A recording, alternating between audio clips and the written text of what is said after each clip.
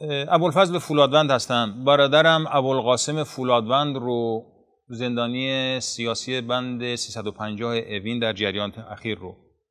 چون اون سال گذشته بی هیچ جرمی گرفتن خانواده‌شو متلاشی کردن. الان هم توی زندان اوین در حالی که داره دوران محکومیتش رو به اصطلاح میگذرونه به قصد کشت زدنش و معلوم نیست که کجا بردنش.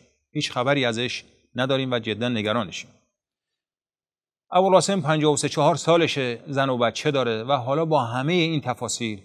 و در حالی که توی زندون شکنجه هاشو شده بازپرسی هاشو رفته پروندهش تموم شده و حکم هم گرفته باید اینطوری دوباره و چند باره به این شکل وحشیانه بره زیر شکنجه. تازه وقتی هم که شکنجهگرای جنایتکار با اعتراضات اجتماعی و جهانی روبرو میشن یکی میگه اصلا خبری نبوده. یکی میگه یه بازرسی ساده بوده. اون دیگری میگه که یک کوفتگی جزئی و جراحت سخت جزئی برداشتن و از این قبیل حرفا. خب اگر راست میگیم پس چرا نمی‌ذارین خانواده هاشون اونا رو ملاقات کنن؟ چرا اونا رو از ارتباط تلفنی با دنیای بیرون محروم می‌کنید؟ آدما رو به جرم عقیدهشون گرفتن و زندان کردن سوال می‌کنم بس نیست. ماها شکنجهشون کردن. بس نیست. حالا باید توی اون سلولای تنگ و تاریک هم بیفتین به جونشون. خب البته که این همه ظلم و ستم بی جواب نمیمونه. من همینجا از همه هموطنام از همه مردم آزادی خواه می‌خوام و خواهش می‌کنم که شرح این همه جنایت رو به هر کجا و به هر کس که می‌تونن برسونن. حقوق بشر سازمان ملل احمد شهید عفو بین الملل و امثال هم رو که می‌دونید در جریان بذاریم. از این شبکه های اجتماعی برای این کار استفاده کنید. این حد اقل کاریه که در این بهبوهه هر کسی می‌تونه بکنه و باید که بکنه. این حکم وجدان هر ایرانیه که می‌خواد یک ایران آزاد بدون آخوند داشته باشه.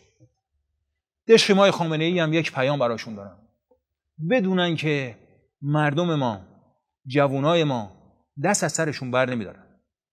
و اگه عدالتی توی دنیا باشه اگه دادگاه عدلی توی دنیا باشه حتی اگه اونور دنیا هم باشه ما و مردممون اونا رو پای حسابرسی جنایاتشون میکشونیم.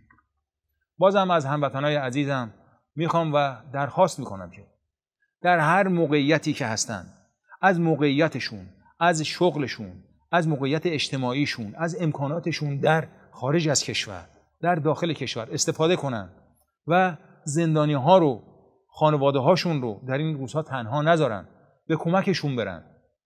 وقتی که زندانی ها از توی اون بند مخوف 350 اوین. و زیر شکنجه می‌تونن شعار مرگ بر دیکتاتور بدن؟